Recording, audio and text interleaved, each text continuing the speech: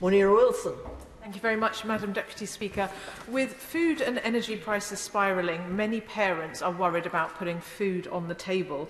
Our children's health and education should be a top priority.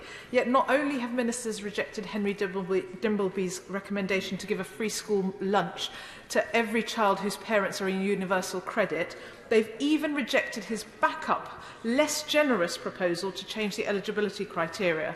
So will the Secretary of State listen to parents and think again about denying an extra one and a half million children in struggling households a free school meal? Secretary of State. Well, Madam Deputy Speaker, the, the, the principal driver of pressure on household budgets at the moment is that very sharp rise in energy costs. And the measures that the Chancellor announced two weeks ago uh, are, are a major step towards helping the poorest households in this country deal with that blow to their uh, finances.